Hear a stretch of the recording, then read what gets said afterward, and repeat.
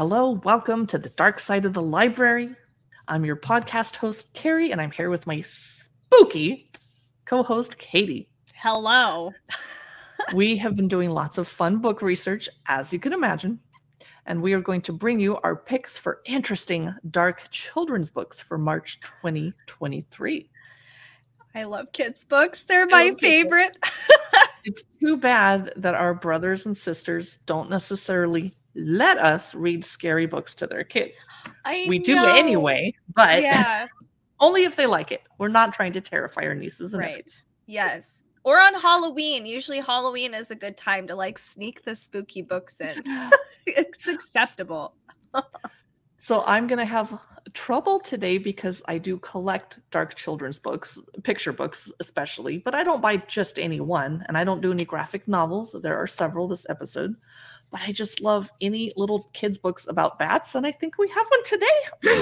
oh, I'm excited. I didn't know we had a bat one. Oh, We I know we have a Mothman one, so I'm excited about that one too. Well, let me show once I figure it out. Ooh, my face is too big. Let's do it this way. There. Okay, why is that the first book? Oh, because I did it in the wrong order. we could do it reverse if you'd like. Uh-huh. I'm trying to look for a different book. There it is Ancient Night. Oh, cute. okay. It's by David Alvarez with David Bowles. Ancient Night is a hardcover picture book. Comes out March 14. It's meant for grade levels preschool to age three. At the start of things, the elders say, the universe was hushed and still. The moon alone shone bright and round in the star speckled dark of the sky. So, as you can see, this is going to be a nice bedtime book. If you can read it with a relaxing voice, you can make your kid finally pass out and go to sleep without having to resort to Samuel L. Jackson style profanity. So, here in Ancient Night, or Noche Antigua, David displays his immense talent with full color illustrations. It's a twist on two Nahuatl traditions. Katie, you're the anthropologist. How do I say that? that was pretty good. Okay. The rabbit, which the feathered serpent placed on the moon, and uh oh, Yaushu, the Lord Opossum who ruled the earth before humans came. Oh, Oh, this Lord Opossum stole fire from the gods to create the sun. So it is a poetic nighttime book based in mythology from Mexico. Those books don't usually get published in English, so I'm definitely going to have to grab this for my collection. It's Ancient Night by David Bowles, and the illustrator is David Alvarez. that looks really pretty. I I am excited to look through it when you do receive that book. Mm-hmm. My first book today, speaking of poetry, it is about the epic poem Beowulf. It is Bea Wolf. Like a little girl. Yes, she wears a cute little bear hat cape. It's adorable. Uh, so this comes out March 21st. Granted, the original epic can be quite dark and eerie and gritty, and it, it's great. So we threw this one in here. It's a graphic novel and it is a retelling of Beowulf. It is featuring a gang of troublemaking kids who must defend their treehouse from fun-hating adults or a fun-hating adult, just one at least. I hate fun hating adults. I do too. And they are trying to instantly turn children into grown-ups. Shame on them. I That's never wanted to grow up. You're I agree. entitled to your childhood. Yes. So listen, hear a tale of mallow munchers and warriors who answer Candy's clarion call. Somewhere in a, gene- a generic suburb stands Treeheart, a kid forged sanctuary where generations of tireless tykes have spent their youths making merry, spilling soda, and staving off the shadow of adulthood. Ugh. I know. Uh, one day, these brave warriors find their fun cut short by their nefarious neighbor, Grindel. I love this so much. Who can no longer tolerate the sounds of the mirth seeping into his joyless adult life. As the guardian of gloom lays siege to Treeheart, scores of kids suddenly find themselves transformed into pimply teenagers and sullen adults. Oh. That's the worst period of time. Nobody wants to go back to their Oh, pimple years. God, I want to block block it out of my memory. I know, like I didn't want to go back to that. Uh, so the survivors of the onslaught cry out for a savior, a warrior whose will is unbreakable and whose appetite for mischief is unbounded. They call for Bea Wolf. I love this so much. I think I might have to get this for myself too. so this is Bea Wolf. It's by Zach Weinersmith, and the illustrator is called Boulette. And now I want to look them up. They sound awesome. Oh, I think it's Boulay. Boulette, I could be wrong. Yes. I'm excited. It's cute. Very cute. What's your next book? I have an even cuter book. Oh, no. It is called Bat Cat, Oh, and it has a pink bat cat on the front with a ghost munching on something and an angry bird. I'm not sure what's happening, and a cat trying to get the bat. There's a lot going on. So, Bat Cat Volume 1 is by Maggie. Oh, I'm excuse me. Meggie Ramm comes out March 28. It's a graphic novel series for emerging readers, grade level 1 to 4, age 6 to 9 years. It's by Amulet Books, and it's about accepting yourself and others. So, Batcat, who apparently is hot pink colored, loves being all alone in their home on Spooky Island. I get that. I love my alone time, but I'm social. Up in their treehouse, they pass the time playing video games and watching TV, as we all love to do. But when Batcat suddenly finds himself haunted by an annoying ice cream stealing ghost, they visit the local island witch for a spell that's going to remove their ghastly guest permanently. So Batcat goes and gets a ghost begone spell, and they have it in hand, and they travel across Spooky Island to gather ingredients. They go to the cavernous caves where the bats tell them they're too round to be a bat. They go to the whispering cemetery where the cats will help only if they commit to being a true cat. But Batcat is neither, and that's what makes them special. That's Batcat Volume 1 of an upcoming series. It's by Meggie Ramm or Rom, and it comes out March 28. It looks cute. that looks really cute. My next book is called Curses Are the Worst Scared Silly series. It's the first in a series of books. This is like if you mixed Goosebumps with the Bailey School Kids, which I've never read, but I did read a lot of Goosebumps. This is for middle grade readers, and the author is Elizabeth Ol- Olberg. I apologize, I probably said that incorrectly. So it's about four unlikely friends who must band together to save their town from an evil curse. Pretty straightforward. So, warning this book contains a very scary and silly story about a long dormant witch's curse that's been unleashed on the unsuspecting town of Cauldron's Cove. It's revenge over 300 years in the making. Hey, better late than never. I love these publisher notes. They're so cute. When Reagan, Sophia, Bennett, and Darius unfairly get put into detention, they know something is wrong. And they're right. This deten- this detention is far from ordinary. Their science teacher, Mrs. Stein, believes that by using these kids' DNA, she can create an army of quote perfect students Oh. have Please make me a perfect student in math. Oh yeah, or all the subjects. I want to be the best at everything. So the teacher uses Sophia's smarts, Reagan's heart, Bennett's likability, and Darius's loyalty, and tries to create a monster clone. But it ends up wreaking or wrecking havoc around the town and getting the real kids in actual trouble. So, will the kids be able to save the town or will they be cursed for eternity? And there's only one way to find out. And fair warning, dear reader, you should definitely read this with the lights on. Oh, So, this is called Curses Are the Worst from the Scared Silly series. This comes out March 7th. It's by Elizabeth Eulberg. we are streaming live to Dark Side of the Library YouTube. We have a viewer, Sean Jones, and they are commenting that the ghost on the cover reminds them of Slimer from the Ghostbusters cartoon. Yes. Yeah, absolutely. Hello, Sean. So, my next book is called Dear Mothman. Yay. I've never personally felt the need to write a letter to Mothman, but let's see what's going on. the author is Robin Gow, G O W. This comes out March 21, which is tomorrow on our recording day. It's a middle grade novel written in verse about a young trans boy dealing with the loss of his friend by writing to his favorite cryptid, Mothman. Oh, cute. This book, Dear Mothman, is by Amulet Books also. It's intended for grade levels 5 to 9 or reading age 10 to 14 years. So, halfway through sixth grade, Noah's best friend and the only other trans boy in his school, Lewis, passed away in a car accident.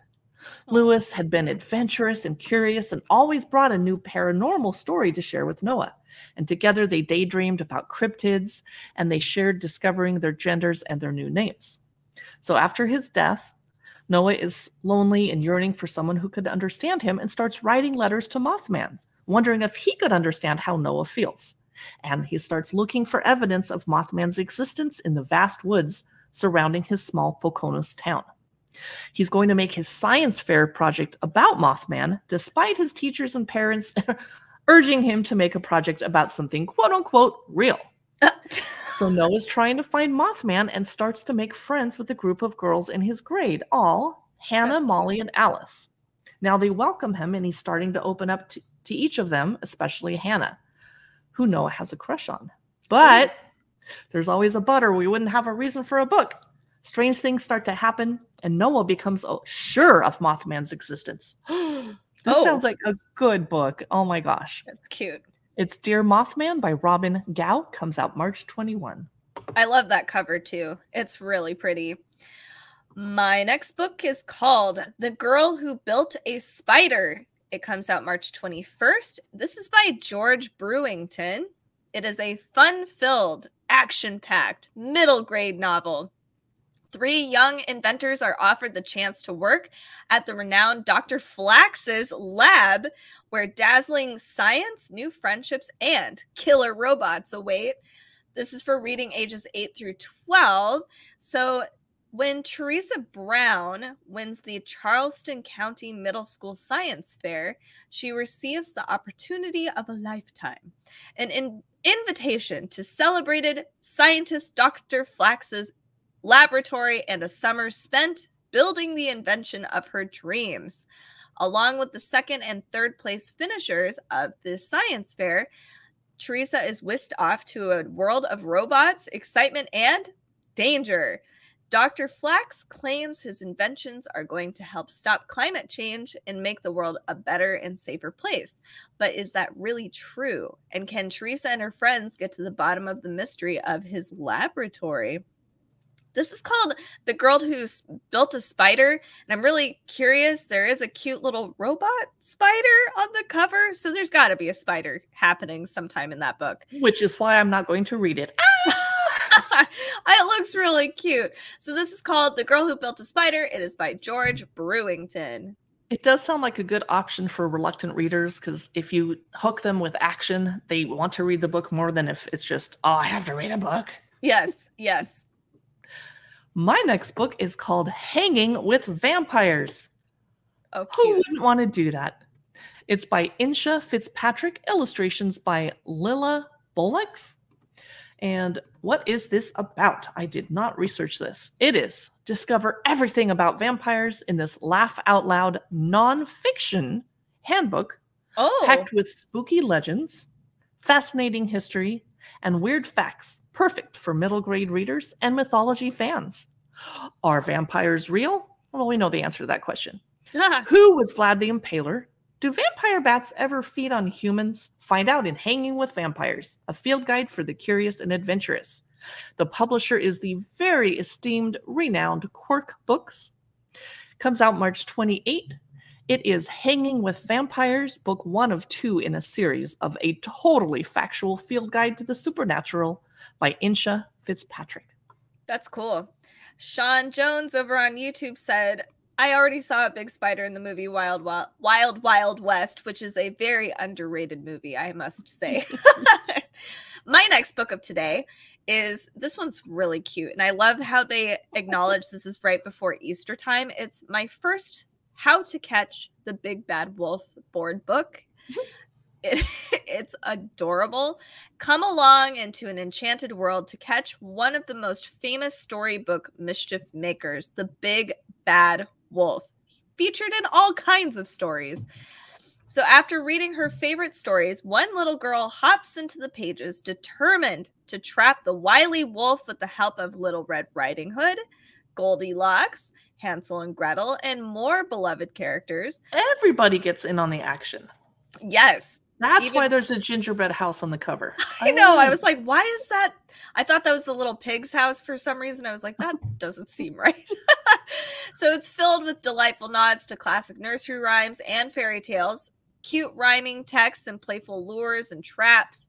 It's a very cute book and it's supposed to spark reading and learning and imagination in a really young age because this is for baby to three years old. They do have other books as well if you wanted to check the other how to catch dot dot dot series like how to catch Santa Claus, how to catch the Easter bunny or a witch or a unicorn. There's so many of these and this one's really really cute. Um and makes it uh, like the big, big bad wolf more playful. So this is my first How to Catch the Big Bad Wolf. This is by Alice Walstead and Joel and Ashley Selby. Selby, yes, illustrate, and it comes out March 1st. Listening. My next book is The Ojja-Wojja, a horror mystery or whatever. it's by Magdalene Visaggio, illustrated by Jenn St-Onge, the grade level is 5 to 7 or ages 10 to 12 years. I've never heard of the publisher Balzer and Bray. Hmm. Hmm. It's the first in a new graphic novel series from indie comic stars Magdalene and Jenn. It's a coming of age story about the transformative power of friendship. Oh. And it's about an immortal demon with the power to take over the world. Yay! Oh, yay, at best. But mostly it's about the friendship thing. So, welcome to Bolingbrook. It's a small town just like any other, or so eighth graders Val and Lanny think. They're the best of best friends. They love the same comics, they watch the same shows, and they're always there for each other, which is important when you're queer like Lainey or on the spectrum like Val and they you don't seem to fit in anywhere. So they have a school project about their hometown's supernatural history, but it leads to a for real ghost sighting. Val and Lainey realized Bolingbrook might not be as boring as they'd always thought. Well, there's that. But after a run in with the resident middle school queen bee, who of also course. happens to be Lainey's former friend, they decide to take things to the next level. And they accidentally summon the Ojja-Wojja, a demonic presence connected to a slew of mysterious tragedies throughout Bolingbrook's sordid history. Now all heck is broken loose. The whole town's acting weird, and there's nowhere left to turn. It's going to be up to Val, Lainey, and their small group of friends to return things to normal. But if, and here's why I want to read the book, if normal is even something they want to return to. Ooh, I like That's that. The Ojja-Wojja graphic novel book. It comes out March 7, so it's already out. Cool. What's next for you? This one also came out March 7th. It is by Suzanne Young. It's called What Stays Buried. It has a very creepy creature in the very back, shadowy figure. Ooh. Uh, so this is her first middle grade reading book. It's for reading ages 8 through 12. So it's perfect for fans of Bone Hollow and the Peculiar Incident on Shady Street. N- neither of those I have read but if you have, now you know. 12 year old Callista Wynn will lose her ability to speak with the dead on her 13th birthday. Oh, usually it's the other way around. Like she'll get the gift on 13th birthday. Instead, she loses the gift. And is she upset about losing it or relieved about losing it? That's a really good question. That's a great question. I don't know. So there's only a few weeks left, and children of course, have started to go missing. Uh, when Callista meets the quote, the tall lady, an angry spirit with a grudge against Callista, her family, and the entire town, She knows she's found the ghost responsible for the disappearances. It's now up to Callista, the only person who can see the tall lady, to stop her. If she doesn't, Callista won't just lose her powers, she'll lose everyone she has left. So it sounds like she has to get the quest done before this thing actually happens to her. This does look really creepy, and some of the ratings that I did briefly glance through say it's actually quite a creepy read. So if you're looking for extra creepy, this is the book for you. It is What Stays Buried by Suzanne Young. My final book today, I'm jumping back to the beginning of my pictures. It's Wretched Water Park. It's part of the Sinister Summer series. It comes out or came out March 7 by Kiersten White. It's book one of a four book Sinister Summer series, meant for grade levels three to seven, nine and nine years and up. It's a middle grade mystery series that's spooky, creepy, and filled with gothic twists. Ooh. So meet the sinister Winterbottoms, brave Theo, her timid twin named Alexander, and their older sister Will. They're stuck for the summer with their aunt Saffronia, who doesn't know how often children need to eat, and she can't use a smartphone, and yet whose feet never quite seem to touch the floor when she glides or walks. when Aunt Saffronia suggests a week pass to the Fathoms of Fun water park, they hastily agree. But the park is even stranger than Aunt Saffronia.